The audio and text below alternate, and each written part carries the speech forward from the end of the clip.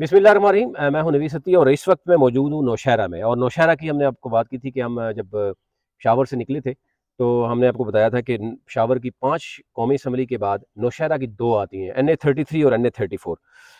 Doctor Khurram Shahzad साहब हमारे साथ मौजूद हैं और इनसे हम जानेंगे नौशहरा के हवाले से कि यहाँ पर लैंग्वेज कहाँ से बोली जाती है, यहाँ पर किस तरह की बरदरियाँ हैं, जैसे मैटर करती हैं, कई एरियाज़ में बरदरी मैटर करती है, कई जगह पर जो है वहाँ पर, यहाँ पर रोज़गार क्या है नौशहरा में और बाकी तो हम जानेंगे। लेकिन सबसे पहले मैं आपको बता दूँ कि एन एन ए जो थर्टी थ्री है, वो नौशहरा है। यहाँ पर कांटेदार हमें मुकाबले देखने नज़र आ रहे हैं। और नौशहरा है, में बेसिकली है वो परवेज़ खटक साहब का ये आबाई हल्का भी है। और नौशहरा की जब भी बात की थी तो परवेज़ खटक साहब का नाम आता है। और परवेज़ खटक क्योंकि पहले वजरेला के पी भी रहे हैं, फिर पी टी आई में भी रहे हैं, फिर अब पी टी आई पी उन्होंने बना दी यानी पाकिस्तान तरीके इंसाफ पार्लियामेंटेरियन तो यहाँ पर ज़ाहिर है उनकी पूरी फैमिली मैदान में है। देखना ये होगा कि यहाँ पे बाकी पॉलिटिकल पार्टीज़ किस हद तक उनका असर है। अगर एन ए थर्टी थ्री की बात करूँ तो यहाँ पर ओवरऑल जो एरियाज़ आते हैं वो तहसील जहांगीरा तहसील है, नौशहरा कैंट है, नौशहरा तहसील के कुछ एरियाज़ हैं। और यहाँ पर, जो क्योंकि पहले जो परवेज़ खटक साहब वो क्योंकि पीटीआई में थे, अब वो जो ही पीटीआई से निकले तो पीटीआई के जो नौजवान हैं या जो नज़रियाती लोग हैं उनको, उनके लिए आसानी हो गई है, वो थोड़ा सा उनके लिए कि वो सामने आए हैं। तो यहाँ पर मैं आपको बताऊँ एक तो परवेज़ खटक साहब खुद हैं। अच्छा यहाँ तीन परवेज़ आते हैं पी टी आई पी, यानी पाकिस्तान तरीके इंसाफ पार्लियामेंटेरियन परवेज़ खटक जो कि पी के एटी सेवन और P P K eighty eight में भी खुद लड़ रहे हैं, एन ए पे भी खुद लड़ रहे हैं वो। इसके साथ साथ जो है जे यू आई फेक हैं, अलहाज परवेज़ खटक ये भी परवेज़ हैं, और फिर ए एन पी के हैं खान परवेज़ तो खान बाबा उनको कहते हैं, ये भी परवेज़ हैं। तो ये नहीं, आप ये समझें कि तीन परवेज़ यहाँ पर मद मुकाबल हैं। फिर सलीम खोखर साहब हैं, ये पीपल्स पार्टी के हैं।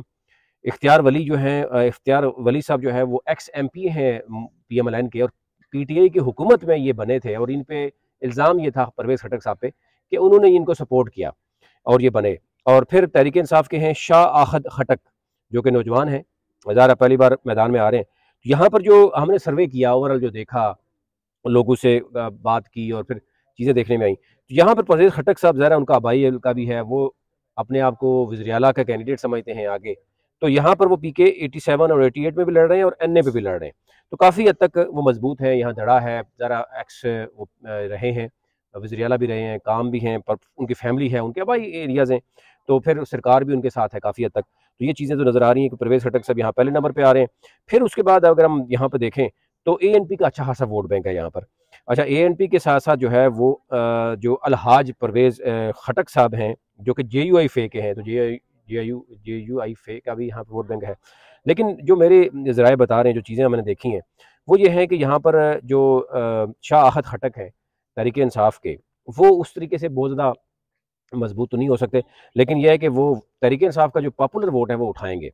और फिर इसके साथ इख्तियार वली जो हैं, वो क्योंकि एम का इलेक्शन भी लड़ रहे हैं और इसके साथ साथ वो पी के अट्ठासी का इलेक्शन भी लड़ रहे हैं।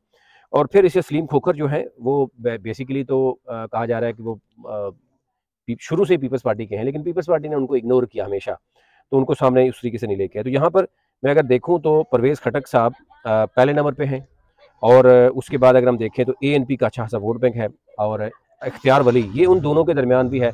इख्तियार वली साहब अपना ज़ाती वोट भी है और फिर नून लीग का उस तरह यहाँ वोट बैंक नहीं रवायती नून लीग का वोट बैंक यहाँ पे नहीं है। आप ये कहें कि इख्तियार वली को बड़ा यहाँ पर मुश्किल आएँगी। तो फिर अलहाज, परवेज़ खटक साहब जो हैं जे यू आई फेक या ए एन पी का, यहाँ पे रवायती वोट बैंक है। पहले भी हुकूमतें बनती रही हैं तो चीज़ें नज़र आती हैं। तो यहाँ यहाँ पर ये मौजूद है। फिर इसके साथ अगर हम बात करें तो पहली मरतबा की परवेज़ खटक के जाने के बाद बहुत से नए लोग भी सामने आए हैं।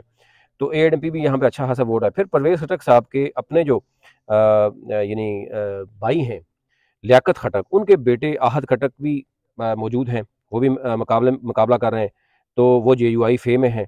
फिर परवेज़ खटक साहब के बारे में बताया जा रहा है कि इब्राहिम खटक जो उनके अपने साहबजादे हैं, उनको आगे करने से दो, उनके आहद खटक हैं, जो कि पहले मामला देखते रहे तो उनको फिर फील हुआ कि शायद हर मामले में जो है वो, उनको ही सामने लेके आया जा रहा है तो वो जे यू आई फे में है, लियाकत खटक और उनके साहबजादी मैदान में तो ये, मैं अगर देखूँ पी के एटी सेवन में तो यहाँ पर परवेज़ खटक को मुश्किल ये थोड़ा सा होंगी, क्योंकि यहाँ पर इतिहाद भी हो गया है। यहाँ पर जो है अमीन जो है वो भी मौजूद हैं। शायद बाकी भी चीज़ें हैं, लेकिन ओवरऑल मैं देखूँ तो ये परवेज़ खटक का आबाई एरिया है। तो यहाँ पे एज उनको ज़रूर हासिल है। अच्छा जी एन ए थर्टी फोर की बात करें तो यहाँ पर ये एरिया है पबी तहसील का। इसमें नौशहरा कैंट के कुछ एरियाज़ हैं, फिर नौशहरा से रावलपिंडी जो साइड पूरी है। आप अगर जाएँ तो इस पर भी बड़ा इलाका आता है। यहाँ पर जो है, वो इमरान खटक हैं, जो कि परवेज़ खटक के दामाद हैं। ये दोनों पहले पी के थे, यानी परवेज़ खटक और उनके दामाद। यहाँ पर वो इमरान खटक जो है, वो 89 पी के नाइन पर भी लड़ रहे हैं और एन ए थर्टी फोर में लड़ रहे हैं। फिर यहाँ पर जमात इस्लामी के इंजीनियर मोहम्मद सिकंदर अहद हैं इकरामुल्ला हैं टी एल पी के और मियाँ बाबर शाह का खेल हैं। ये ए एन पी के हैं और ए एन पी का रवायती वोट बैंक यहाँ मौजूद है। मोहम्मद अदरीस खटक हैं पी पी पार्टी के ये नए कैंडिडेट हैं, मोहम्मद काशिफ पी के ये भी नए हैं, और जुल्फ़ार ख़ान यहाँ पर नौजवान हैं, तहरीक इंसाफ का टिकट उनके पास है, या सपोर्ट उनके पास है, आज़ाद है, वैसे तो तहरीक इंसाफ के ज़ाहिर बदला उनसे ले लिया गया। तो यहाँ पर लोगों का ये इल्ज़ाम ये ज़रूर है परवेज खटक साहब के, कि दूसरा जो हल्का है, उन नई हल्काबंदियों के बाद मैक्सिमम अपना इलाका उन, उसमें ले गए, और इसमें जो है इमरान खटक के पास जो इनके दामाद हैं, उनके पास आया। तो यहाँ यहाँ पर भी कहा जा रहा है कि जो इमरान खटक है, उसके लिए काफ़ी चीज़ें जो है वो चल रही हैं। तो देखना ये होगा कि यहाँ पूरी, पोजीशन क्या है। मेरे साथ डॉक्टर साहब मौजूद हैं। डॉक्टर साहब ये बताइएगा यहाँ ओवरऑल नौशहरा में क्योंकि हम चाह रहे होते जब हमारे नाजीन हैं, उन तक ये भी बताया जाए कि यहाँ पे लैंग्वेज कौन सी बोली जाती है टोटल किस तरह के रोज़गार हैं आवाम के? ज़रा यहाँ पे कैंट भी है। और फिर जो है वो यहाँ की डायनामिक्स की क्या देखते हैं आप यानी अगर हम ओवरऑल देखें तो? सर थैंक यू आप लोग आए नुशैदा को आपने इतनी वैल्यू दी। स्पेशली जो यहाँ तक लैंग्वेजेस की बात है तो यहाँ एक्चुअली जो बेसिक लैंग्वेज है वो यहाँ पे पश्तो है। हम्म। हम लोग पश्तो स्पीकर हैं पश्तो लैंग्वेज बोली जाती है। सेकेंडली साथ में जो लैंग्वेज चलती है उर्दू जो ऑफिशियल लैंग्वेज है हम्म। वो दो लैंग्वेजेस ज़्यादा हैं। कोड़ा खटा का मूव करते हैं तो वहाँ पे थोड़ी बहुत हिंदू स्पीकर्स हैं मगर वो मेजोरिटी नहीं है माइनॉरिटी हम्म। एक कंसिडर आप कह सकते हैं उसको लैंग्वेज पॉइंट ऑफ़ व्यू से। तो जो नौशादा के सोर्स ऑफ़ इनकम या जॉब की जो बात है फ़र्स्ट लेवल पे जो आ जाता है मैक्सिमम पीपल ज़्यादा जॉब होल्डर्स ठीक है गवर्नमेंट जॉब्स हो गए टीचिंग प्रोफेशन हो गया इनका और डिफरेंट और प्रोफेशन हो गए। उसके बाद सेकंड पे कोई बिज़नेस की है लाइक एज अ बड़ी इंडस्ट्री नहीं है यहाँ पे कोई हम्म। मगर लोगों के अपने अपने छोटे ट्रेड्स हो गए शॉप्स हो गई मार्केट्स वगैरह हो गई। बरादरी कौन कौन सी है अब बरादरी देखें यहाँ पे डिफरेंट खटक का है छोटी। छोटी अपनी अपनी खेलें बनी हुई हैं यहाँ पे ठीक है। तो हर खेल के अपने अपने बड़े होते हैं जो कि डिसाइड वगैरह कर रहे होते हैं। हम्म। तो मेजोरिटी एक्चुअली जो बड़ा जो यहाँ पे एक है वो खटक जो है वो ज़्यादा उस साइड पे है तो उस पे चल रहा है। हम्म। बाकी जब आप बात करते हैं डिफरेंट कैंडिडेट्स की हम्म। तो लाइक इस पे वाकई में मुकाबला एक टफ है मगर कुछ कैंडिडेट्स यहाँ पे ऐसे हैं कि जो कि हमेशा हिस्ट्री में जीतते हुए आ रहे हैं। सही। अब वो जीतने की उनकी कोई बैक पे वजह है। बैक हम्म। पे वजह क्या है कि वो एक्चुअली नौशहरा का जो वोट है वो डिफरेंट सॉर्ट ऑफ़ का वोट है। वो किसी इस बेस पे नहीं आता जी कि मैं कोई पीपल्स पार्टी का सपोर्टर हूँ या पीटीआई का सपोर्टर हूँ या नून लीग का सपोर्टर हूँ यहाँ पे लाइक आई विल से कि शख्सी वोट चल रहा है। कबाइल यानी वो मज़बूत है। कबाइल नहीं हम्म। कबाइल कबीले भी मज़बूत है मगर शख्सी हम्म। वोट चल रहा है। ठीक है। शख्सी इन सेंस इस तरह I will give the example of the Pervez Khattak ठीक है अब खटक साहब का ये है माशाल्लाह उनकी पूरी फैमिली उनके बेटे उनका सन इन लॉ उनके भाई भतीजा चलो वो एक अब अलग साइड पे हो गए।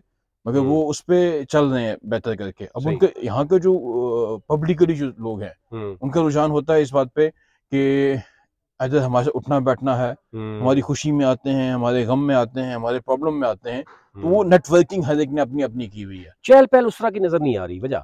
चहल पहल एक्चुअली लोग शशुपंच का शिकार है। हम्म। अब अवेयरनेस लोगों को काफ़ी आ गई है। तो लाइक शशु पंच क्या है कि इलेक्शन होगा भी या नहीं होगा। अभी भी इवन की कुछ जगहों पे ऐसी बातें आ जाती हैं बैठक में बैठे हुए या हम्म। में बैठे हुए कोई आते हैं इलेक्शन या इलेक्शन कंफर्म भी नहीं है। तो उस वजह से उतना पॉजिटिव लोग ले नहीं रहे। सेकेंडली स्टेट की फाइनेंशियल पोजीशन ऐसी है इस टाइम पे हम्म। कि लोगों का रुझान उस साइड पे है कि भाई कि मैं अपना वे ऑफ़ लिविंग या अपनी नीड्स हैं वो मैं हम्म। कैसे पूरी करूँ? तो हम्म। वो उसको देखते देखते वो कहते हैं भाई कि मैं तो टाइम ही नहीं लोगों के पास जाके। इस तरह की चहल पहल जल से जुलूस वगैरह वो चीज़ें अब वो सारी बात है हर बंदा जलसे अरेंज करता है। तो वो हर बंदे के पास इतने रिसोर्सेज नहीं है कि जलसा अरेंज करे स्पीकर लेके आए लोगों को बुलाए लोगों को चाय पिलाए। दैट इज़ अनदर थिंग अब वो लाइक ड्राइंग रूम की हद तक चले गए लोग उस पर आके। बिल्कुल डॉक्टर साहब बहुत शुक्रिया आपका। हम अगर ओवरऑल नौशहरा की बात करें हमने यहाँ पर मुख्तफ सड़कों से भी हम आए हैं। तो यहाँ पर डेफिनेटली यहाँ पर बाकी दीगर जमातों का तो हमने देखा कि उनके बड़े बड़े बैनर्स भी अवेजा हैं। लेकिन ज़रा तरीके इंसाफ का पूरे के पी में अगर हम पेशावर की बात करें या इस रोड पे आए तो उस तरह के शायद बड़े बैनर्स नज़र नहीं आए। लेकिन ये ज़रूर था कि कहीं रिक्शा में या कहीं कैब पहनी हुई थी लोगों ने तो ये एक खौफ और आस यहाँ पर भी उसी तरीके से जैसे बाकी एरियाज़ में है। ये ओवरऑल सूरत थी आप तक रखनी थी। और बाकी जो आपको हार्ट और जो दीगर डी खान तक हम बाकी हल्के हैं वो भी हम सबसे शेयर करते हैं। बहुत शुक्रिया।